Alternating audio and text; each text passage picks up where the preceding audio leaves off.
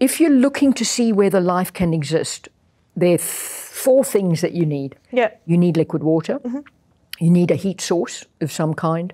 You need organic material. And then you need those first three ingredients to be stable enough over a long enough period of time that something can actually happen.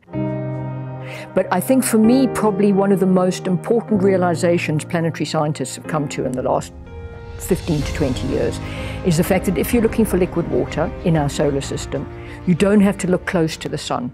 Mm. You can look much further away from the sun in the outer planets, but it's not on the surface, it's underneath the surface. Yes, even though you basically it's really far away and not getting much of the sun's heat, that's not necessarily required to create liquid water. That's right. And there's a ball There is a here, ball, just conveniently. I will there. make use of. So, what we think is happening at the three moons that we're going to is that as they orbit around Jupiter, their orbit is not quite circular. Mm-hmm. And so, at times, they're closer to Jupiter and its gravitational field than on others. And when they're closer, the moon gets squeezed a bit.